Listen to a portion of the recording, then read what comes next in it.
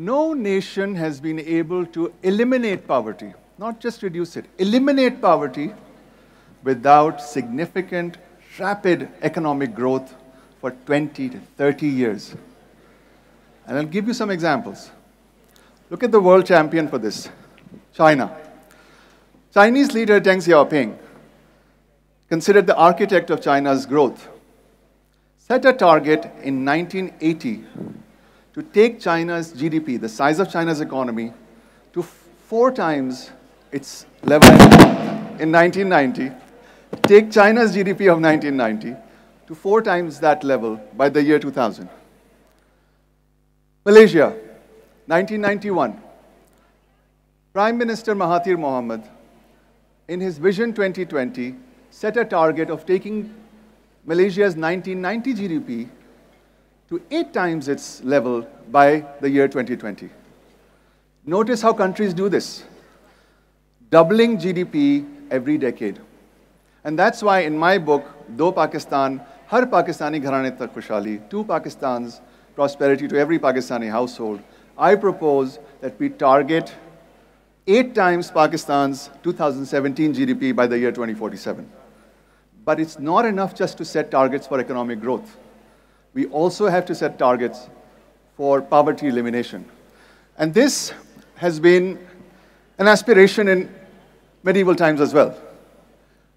Look at this Mughal miniature from the time of Emperor Jahangir in the 1620s. He's eliminating poverty, although he looks like he's eliminating the poor. He's eliminating poverty, although he looks like he's eliminating the poor. My proposal is for Pakistan to make sure that by the year 2047, all Pakistani households are living on more than $2 per capita expenditure. And just to put that in perspective, in 2019, 80% of Pakistani households were below this level, which translates to 45,000 rupees expenditure per month for a family.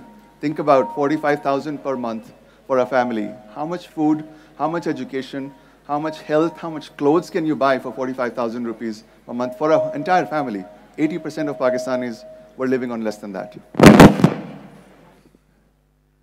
Thundering along, I'm going to give you the example. It's difficult to imagine increasing the size of an economy eight times. I'm going to give you an example. Thank you. Can you hear me? Can you hear me? I'm going to give you the example of one company that we know well, Samsung.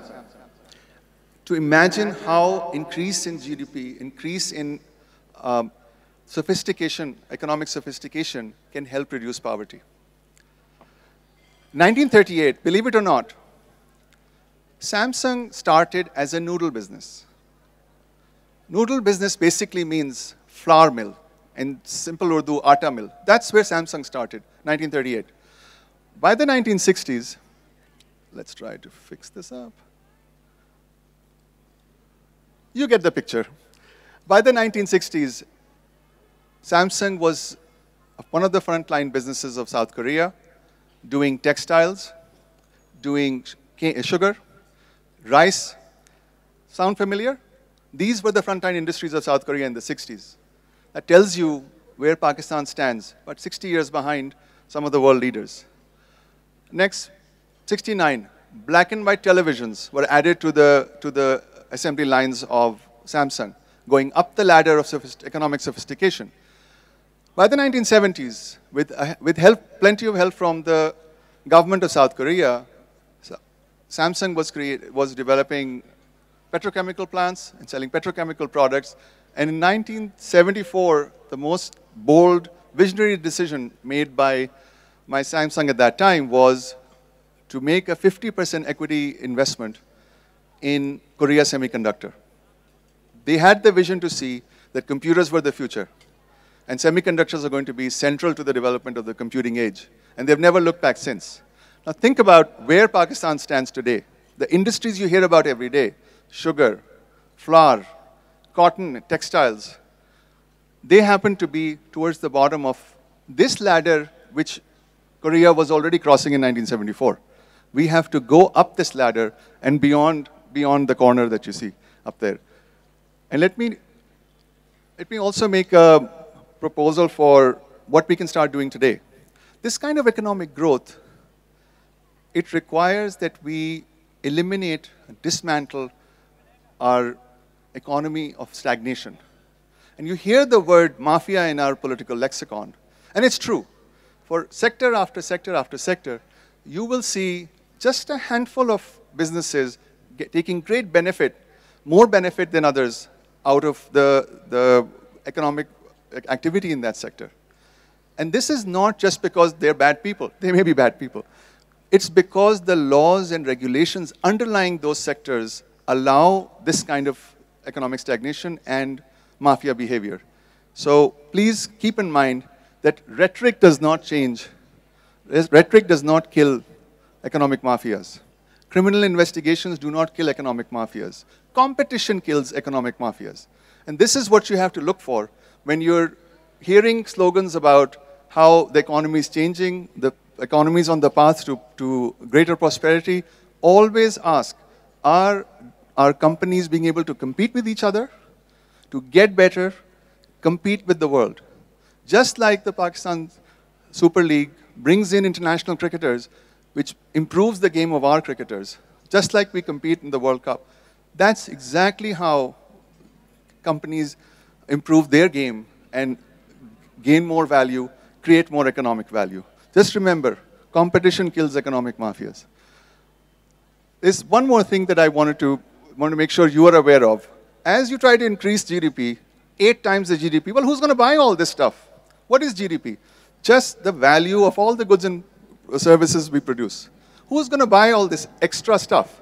Well, it could be consumers, which is the majority today. But our consumers are, as I told you, they have very little purchasing power today. So that's not going to make it. Is it, is it possible that governments can do that? Possible, but the government has very scarce resources. Won't be able to buy eight times the size of the current economy. They barely buy 10, 15% of it today. Can investors do it? When uh, businesses invest, when they build factories, uh, they buy stuff to build, say, petrochemical plants. Well, a lot of the things they buy, we don't produce them. So that's not going to make it. Well, the obvious answer, the world economy can buy the extra stuff we produce.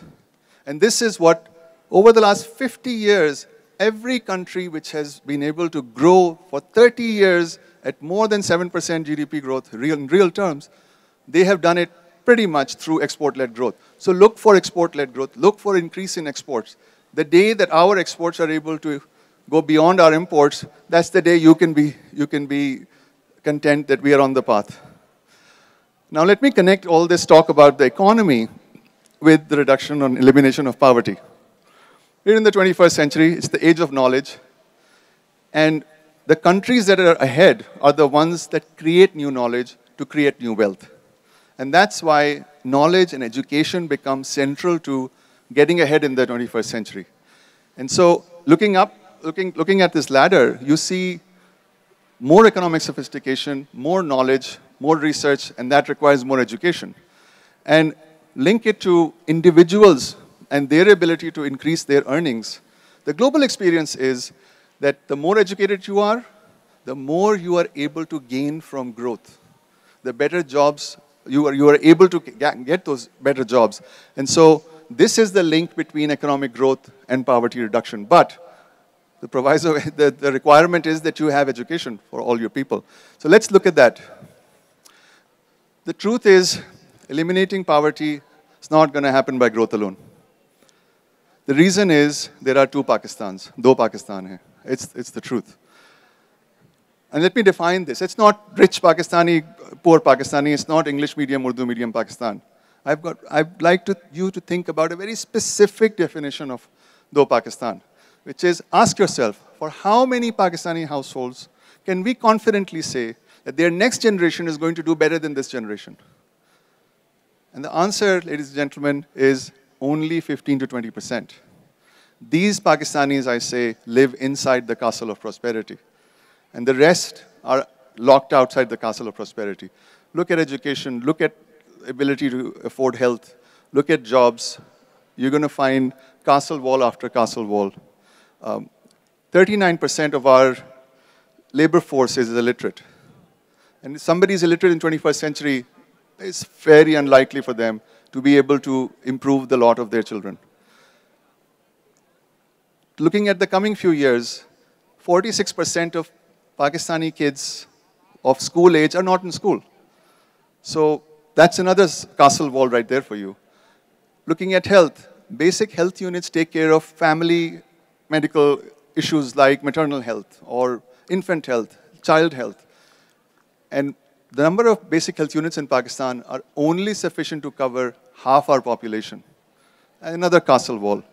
That's why I, I, hope you begin to see why there are so many Mughal miniatures in, in this presentation and in my book. So let me highlight one more specific statistic related to a topic that we should be talking about a lot more, which is, power, which is population. And there is an impression that among educated Pakistanis that the reduction of poverty requires reducing the population growth rate. The opposite is true. Population growth rate falls as poverty falls. And let me just illustrate this by looking at, uh, showing you data from Pakistan itself. The parameter to look at often is not population growth, but fertility. Among the top 20% of Pakistani households by expenditure, this, these are the folks inside Pakistan's castle of prosperity, every 100 women have 270 children in their lifetimes. And this is similar to East Asian countries, which are more advanced than us. But among the bottom 80% of Pakistani households outside the castle, every 100 women have 420 children in their lifetimes, which is more like sub-Saharan Africa. Think about how much of a burden for mothers, how much of a burden for families to educate their children, etc. Right there, you have two Pakistans.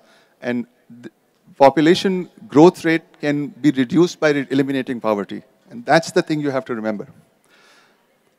Now, one more factor to keep in mind is that with automation, the time to reduce our kind of poverty with this much illiteracy and this many Pakistanis with no skills or low skills, the time to eliminate this poverty is going away. And let me illustrate by showing, pointing out another miniature from Emperor Akbar's time. This is 1571, the construction of his favorite capital, Fatehpur Sikri. And the eyes, usually you focus on him at the top with this construction package. But look at the bottom. If you focus it on what those laborers are doing, what technology they're using, you begin to get reminded of construction sites in Pakistan today. 1571 in 2021, there are some similarities you see in construction work going on. Those folks cannot eliminate their poverty in a generation. So it's true when, when you hear that construction gives employment to the poor, it's true, but it, that's pretty much all it does. We need to eliminate the poverty, not just give a little bit of employment to the poor. So Answer is industrialize. Yes, we must industrialize. And you hear this, and there's beginning to be great consensus on this. But always keep an eye out on what sectors we are going to industrialize into. For sure, we need the high tech that I talked about earlier. But we are going to have huge, tens of millions of Pakistanis who don't have education, who don't have the skills. And we're going to have to pick sectors that also employ those. And this is what many countries that have made it, including China, did. So pick sectors that create low-skill jobs as well while protecting the environment. Keep an eye out for that. Finally, let me talk about Pakistan's welfare state. Half of, half of the basic health units have not been built yet that we need. Pakistan today needs a million pr more primary school teachers. We have to train them. Pakistan needs tens of thousands of more schools. We have to build them. For that, we need train doctors, nurses. For that, we need to make sure that we have a stronger financial footing for our welfare state. We can't just focus on government allocations for these, these, uh, these sectors like education, health, vocational training, job training, etc. We need to find other ways to finance them, otherwise we're not going to make it in time. We need bank loans for college, uh, college education so people can take loans and return them when they, when they start earning.